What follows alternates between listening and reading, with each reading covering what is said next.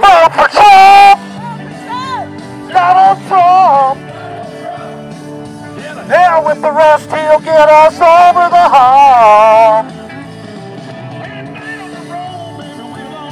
Let the walls get built by Mexico.